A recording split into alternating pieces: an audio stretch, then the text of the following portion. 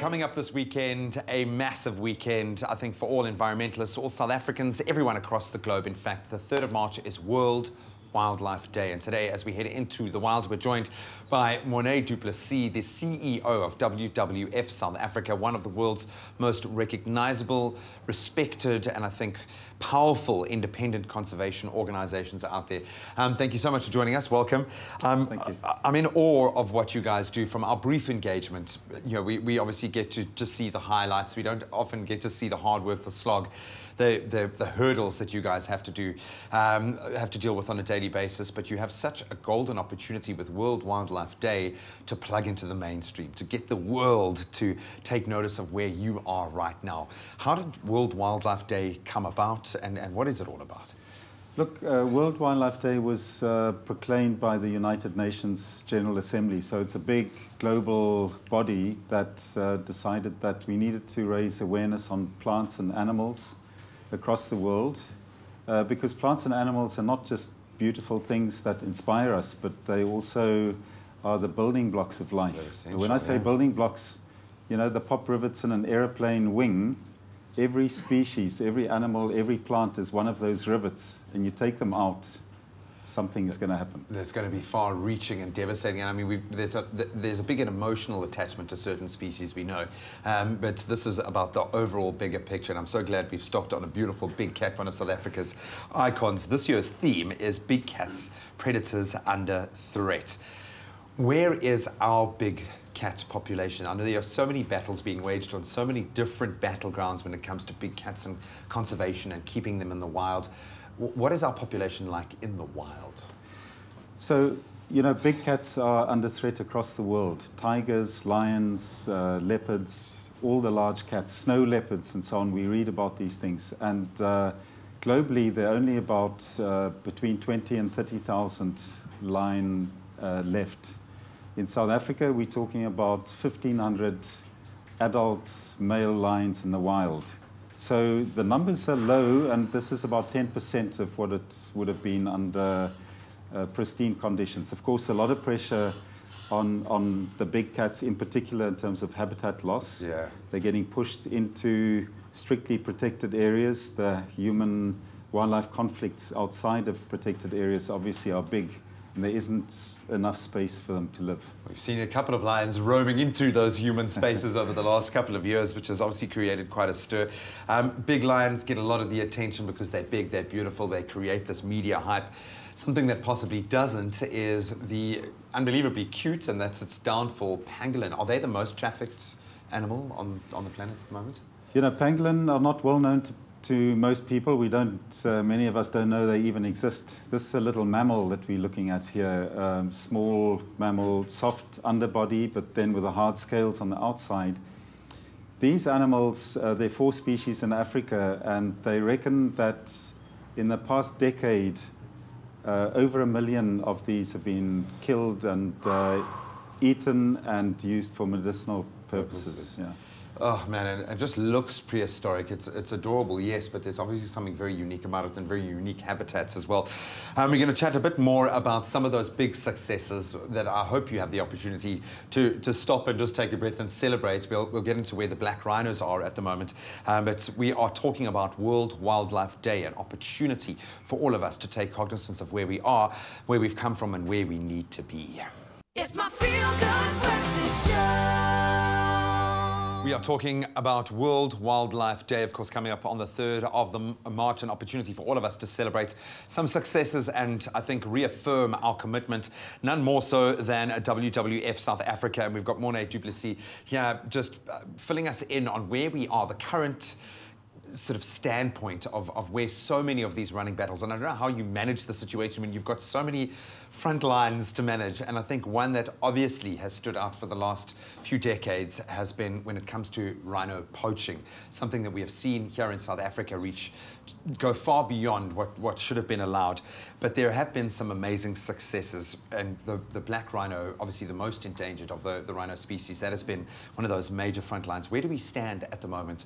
And are we winning the battle, do you think? Well, look, I, I, I would not easily say we're winning, we're winning the, The the, war. war. but there are battles that we're winning. And some of the good news around black rhinos is that uh, WWF has since 2003 embarked on a black rhino range expansion program. And in this, what we're trying to do is to establish new populations. So to get ahead of things and to drop animals into new areas where they hadn't occurred previously.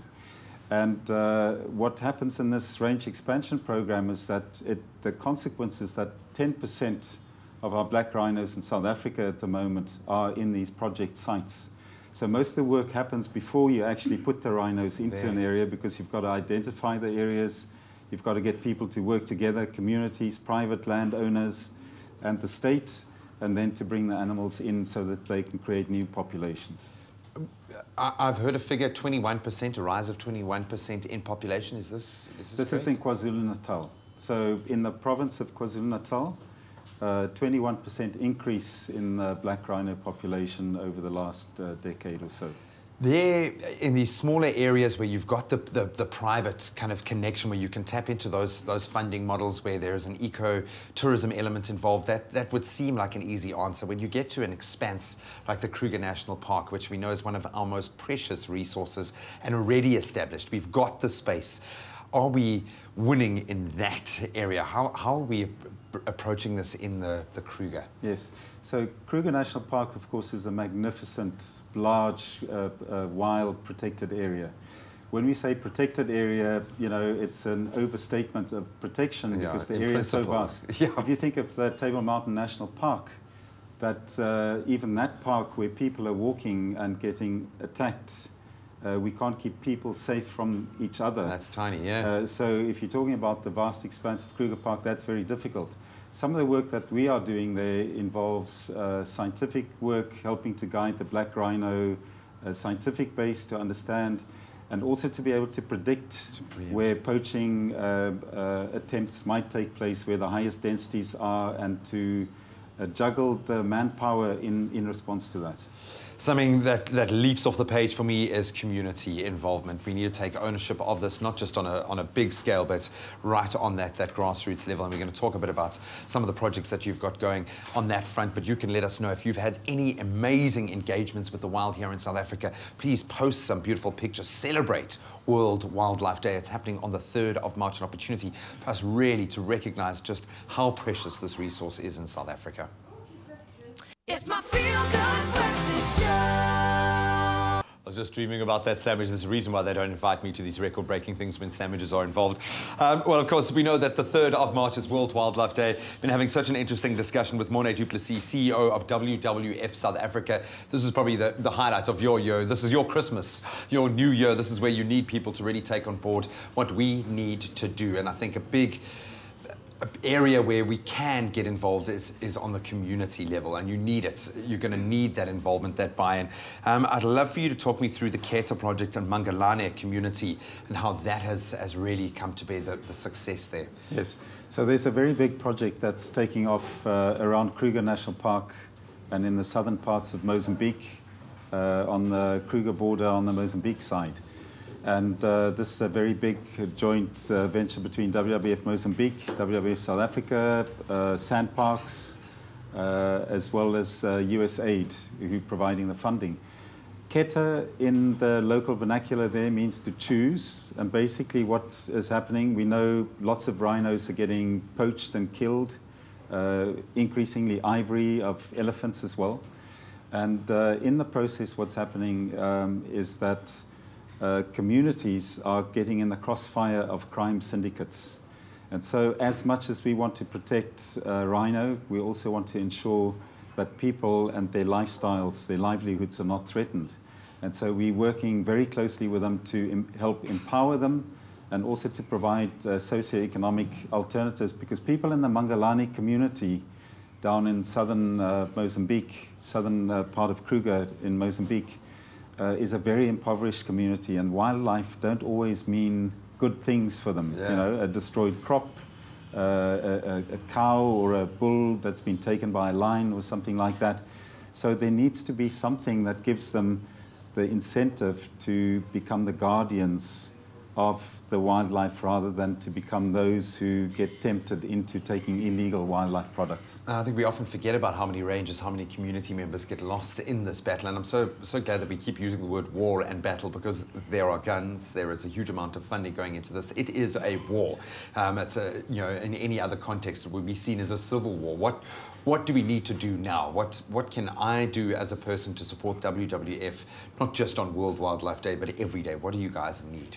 Yes, so when we talk about war, I just want to say that here we're taking the soft side with the communities to make sure that we de um, uh, emphasize the aspect of war and combat and rather that. get them to own and to become part Protect, yeah. and, and, and, and take care. So, you know, protect is also a hard word. Yeah. What we need is for individuals who are watching the show to put up their hands and to say where, you know, to understand where the biggest pressures are on wildlife. Uh, organizations like my own and others all need uh, help in some way or the other. And also, then, of course, corporates would be very welcome to uh, throw their hats in the ring to help this, uh, this flotilla of, of actors to do good in the wildlife sector. I love it. They've got projects that are working. They've got individuals working on the ground doing amazing things. I love the fact that we are now shifting gears to embrace what is ours. It's our wildlife. They are our animals. Our communities need to love and embrace and um, I think really take on board just how precious that is. Enjoy World Wildlife Day, sir. Thank you so much. Thank and, you and for the work you do every day. Absolutely amazing.